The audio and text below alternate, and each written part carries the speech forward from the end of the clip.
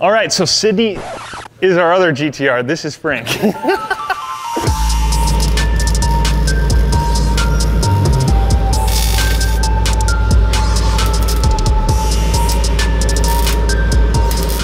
We've got the sheet metal now replacing the cardboard that I had in there initially for the firewall.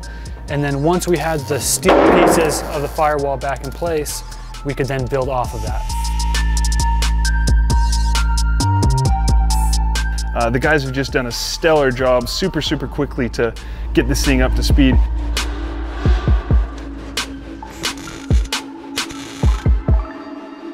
When it came to the suspension of the car, luckily we had all the parts from the previous Frank build, so we had all those parts that could just be bolted right up.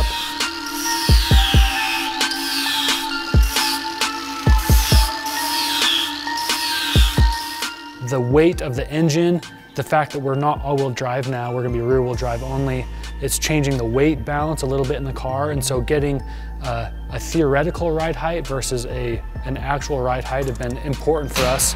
So now that we have the rear end of the car in, the front end of the car in, the wheels on the car, we can start to play with the height of the car.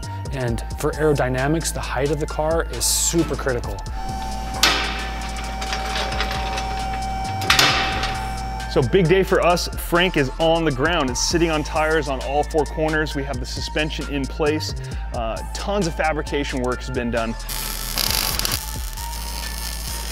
We've been able to finish the transmission tunnel and all the sheet metal for that. We've been able to get the seat mount positions, both the driver and the passenger in place. So that's another cool thing about the car now. Uh, I think this is the first race car we built that has a passenger seat, which is gonna be really cool.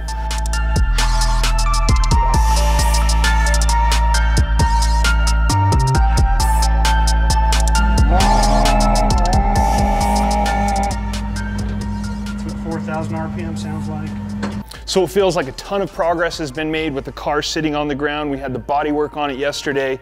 Um, the interior is largely finished. The windshield's mounted. It feels really good, but we have a huge deadline coming up. It's already the end of March. We race at the end of June. So much work still has to happen. We don't have a transmission here. Our coolers and everything are not even plumbed yet. So it's making some really good progress, but we have a ton of work ahead of us. So um, we're gonna keep our nose down and keep pushing forward and uh, see how much work we can get done in the next couple weeks.